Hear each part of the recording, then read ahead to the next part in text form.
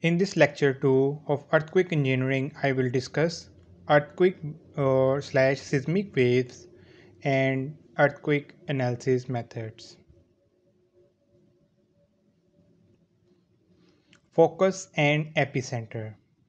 The point within the earth along the rupturing geotechnic uh, geological faults where an earthquake originates is called the focus or hypocenter under the earth where the earthquake originates that point is called focus or hypocenter. This earthquake originate on the fault line that are present on the plates. Okay this point is called hypocenter or focus. The same point on the earth's surface is called epicenter. The point on the earth's surface directly above the focus is called the epicenter earthquake waves radiate out from the focus okay? From this surface this, from this point the waves originate in each direction okay? And let me clear one more point. When the earthquake waves within the earth then these waves are called body waves. The waves which are when originate due to earthquake the waves which remain within the earth uh, that is called body waves.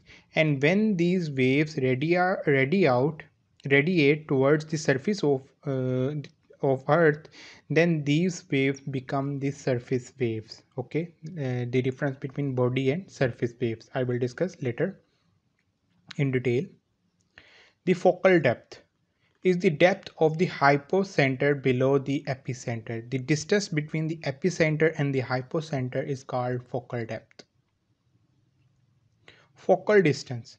Focal distance is the distance from the hypocenter to a given reference point. For example, at this point, uh, you have installed the earthquake recording station. Okay, at, at this point, the distance from this point to this point, okay, from the recording station to this point where the earthquake originates, the distance is called focal distance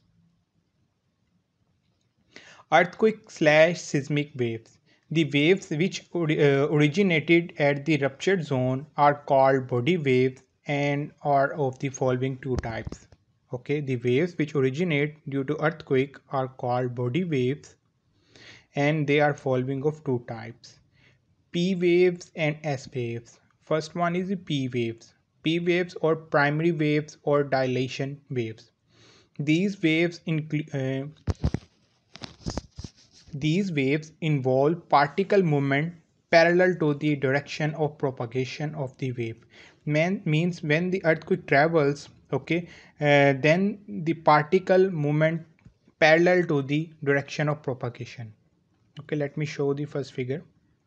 Here, uh, here, in the P waves, uh, this is the direction of uh, movement of the waves. Okay, this is the more uh, clear picture. When the p waves moves okay these waves moves just like a spring. Compression uh, elongation compression elongation or compression dilation okay?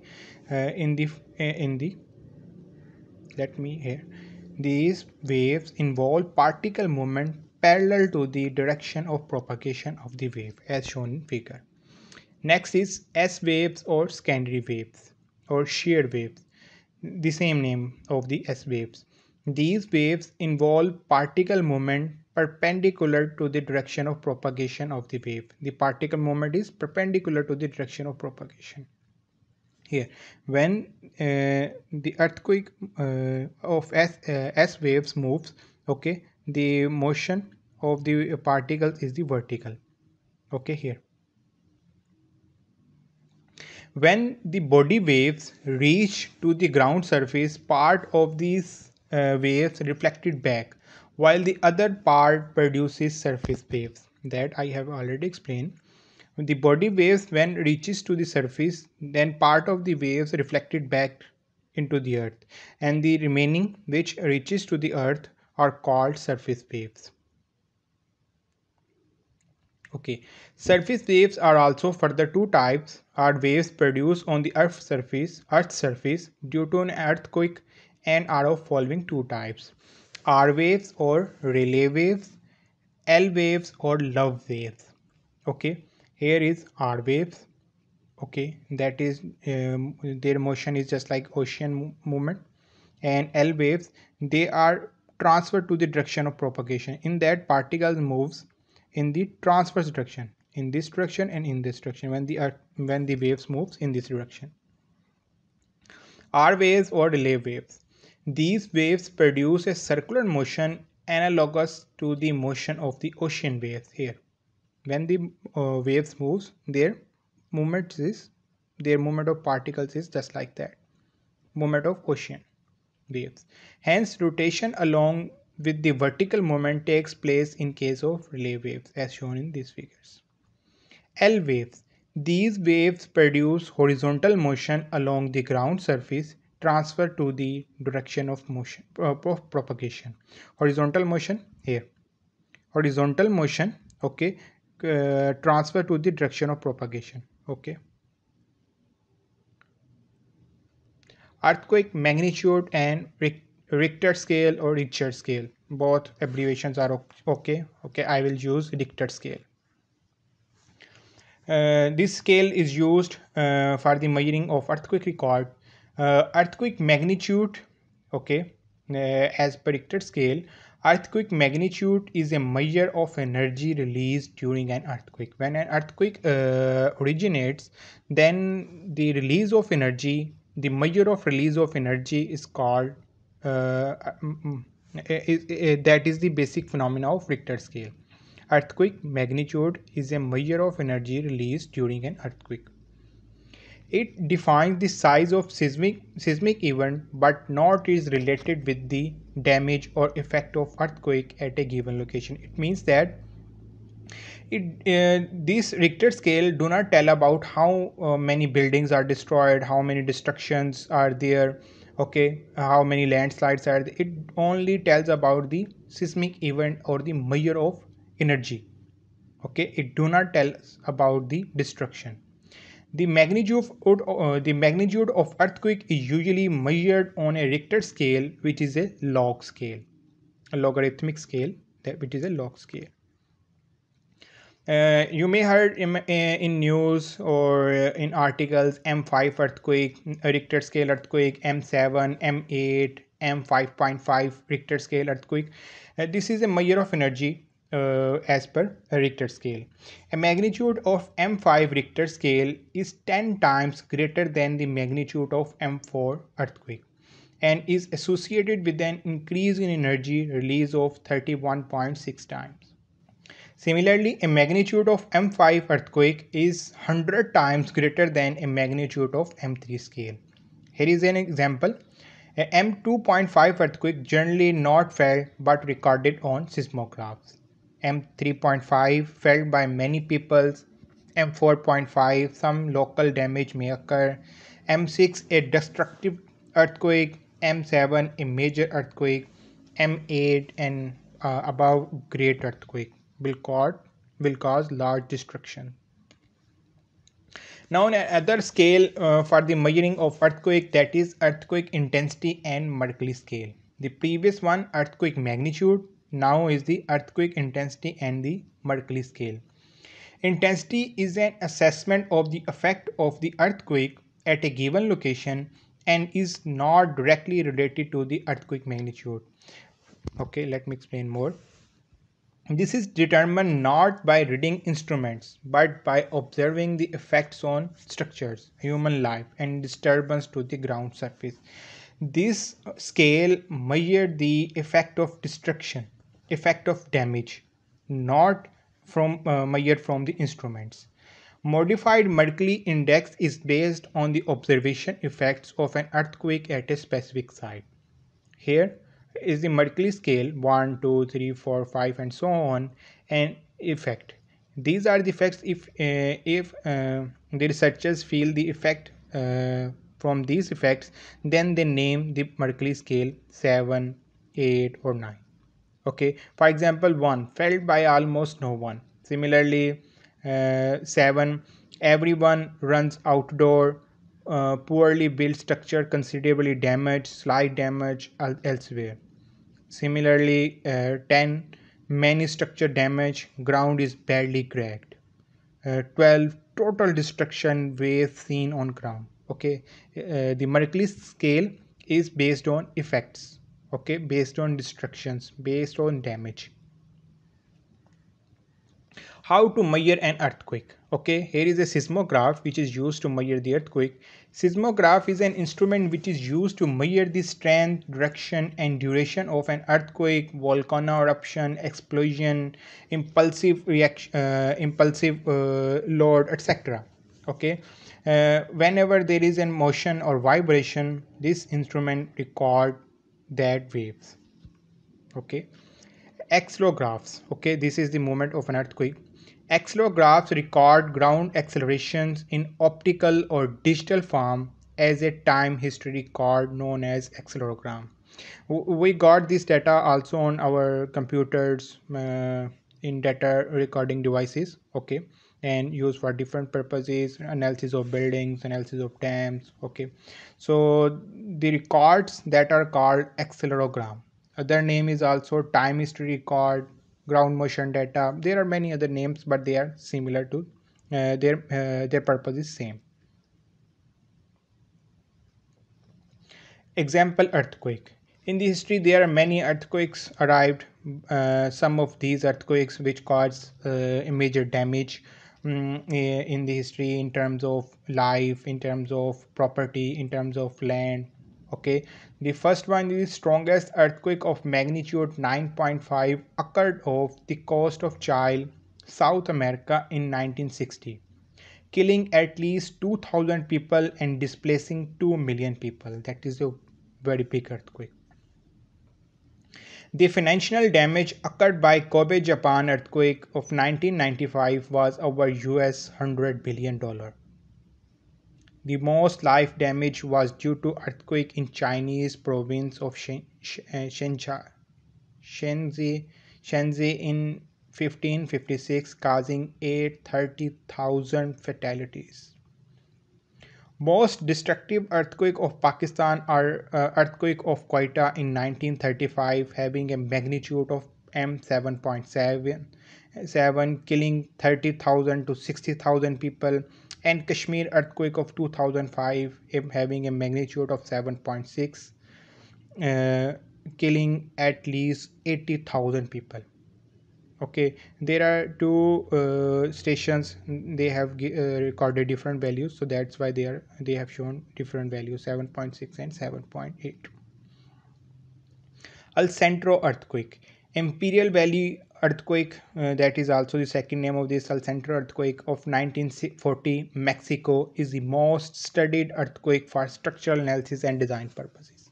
These earthquake records are also used for the design of future buildings okay? So the one of the most used earthquakes El Centro earthquake and here is the Kobe Japan earthquake. Methods of analysis for earthquake loading okay? There are major four methods free vibration analysis response history analysis or time history analysis response spectrum analysis equivalent static or pseudo static load method. Pseudo mean virtual not real or approximate. First one free vibration analysis. Free vibration before explaining uh, here see an example. Here is a rod. On the rod there is a solid mass is attached. That is fixed with ground. That is fixed with ground you push that uh, model towards the right and then uh, remove your hand or finger. Then the body start moves freely or freely vibrating. Okay? So here is a motion. Uh, when you push that uh, mass towards the right and uh, left the body start moving here first it it will guard peak magnitude. Then it will start reducing at at some time it will stop. Okay? After uh, vibrating the body will stop. This is called free vibration analysis. Okay? First we displace the body by applying some force. Then we remove the force and the body start freely. This is called free vibration analysis. If a structure is displaced, uh, displaced by a considerable amount and is then released suddenly, it starts vibration. Without the action of any external force except the first excitation. Uh, the the force which we have applied that is called excitation. Means we have excited the building excited that model so that it start vibrating. Okay first time we have applied the force then uh, we have left the force. Then the body start moving freely. Okay to study uh, to study uh, of response of structure when it is vibrating without an external force is called free vibration analysis of structure. What we got from free vibration analysis? This analysis gives us information about natural time period frequency resonance and damping etc okay that are very important parameters for the design of structures in earthquake. All these properties natural time period frequency resonance damping etc the second method is response history analysis or time history analysis. Response history analysis is the evaluation uh, of response against the elapsed time of a system throughout a non-record of earthquake by solving the actual equation of motion considering all dynamic forces. What uh, this means uh, we analyze our structures against the actual earthquake records. For example in the history there are imperial earthquake kobe earthquake. We apply that actual record which are recorded in the history and apply to the building and get the results. Okay? This is the response history analysis Response history analysis is the evolution of response against the elapsed time. Here you can see uh, along the y-axis there are acceleration. Uh, the earthquake are basically energy. They are in the form of acceleration. Uh, there is no mass just hit to the building that is energy transfer to the building okay so that's why along the y-axis there is acceleration along the x-axis there is a time okay so that's why uh, against the elapsed time of system throughout a non record of earthquake throughout okay from 0 to 12 second we know the uh, know the whole record. By solving the actual equations of motion considering all the dynamic forces okay by considering the all dynamic forces we so uh, analyze our structure and study the behavior of structure that is called response history analysis or time history analysis third one is the response spectrum analysis. It is a uh, approximate method okay? Uh, response spectrum analysis is a linear dynamic analysis method which measures the contribution from each natural mode of vibration to indicate the likely maximum seismic response of an essentially elastic structure. For example let me see let me show you this. Uh, these are the uh, typical out of scale response spectrum graphs. For example our building any building that has a natural time period. We get that natural time period and from that time period we comes on the graph and these graphs are vary for each region for low seismic area for medium seismic risk area for high seismic risk area. For example for any type of zone we got for example our time period 0.5 second and we will go on to our graph according to our eh, these are damping coefficient. Damping 0% damping damping ratio 2% damping ratio 5% for example if our structure had damping ratio 5% okay normally our concrete structures have damping ratio 5% as per code. 0.5 second then we will go and here on the left side we will get the spectral velocity that uh, will be used for the design of structures. Okay for calculating base shear etc forces in the structures. Response spectrum analysis provides insight means details uh, details view uh, of results into dynamic behavior by measuring pseudo spectral acceleration velocity or displacement as a function of structural period for a given time history and level of damping okay? They are uh, gives the detail insights by measuring. Uh, these are interrelated spectral velocity spectral acceleration uh, and uh, spectral displacement okay? Uh, we got the values and then we go for design okay? That is called response spectrum analysis. Now the fourth one is the equivalent static or pseudo static load method in this method some equivalent static forces there are no graphs. There are just specific values. For example uh, if you are designing for a medium uh, risk area of earthquake uh, then you will just uh, pick the values as per given uh, guidelines or codes. You will pick the medium uh, earthquake values and apply to the structures and then you you can design your building so in this method some equivalent static forces are applied approximately to get the effect of vibrations according to the fundamental and higher modes of vibration. Uh, now in the further lectures these two terminologies will come often fundamental and higher modes of vibration. Okay? Here. In the free vibration analysis when i i will push uh, i have pushed that uh, model on the right side then after releasing the force the body will come to its original position go left then will come back to the uh, game. At that point then come to its original position. It will complete its first cycle. This first cycle is called fundamental period. Uh, but it doesn't mean the uh, the model will stop. The model uh, will take lesser vibration until it stop then the next mode that is second mode third mode fourth mode the first cycle is called first mode second cycle second mode third cycle third mode. Okay so according to fundamental and higher modes of vibration. This method is recommended by almost all design codes including UBC Uniform Building Code, National Earthquake Hazard Reduction Program, NAEHRP, National Building Code, NBC, National Building Code of Canada, Building Code of Pakistan, and Saudian Building Code, so, and sufficiently accurate design of buildings. Okay, this method gives sufficiently accurate design of buildings. So that's all for today's lecture. Have a nice day.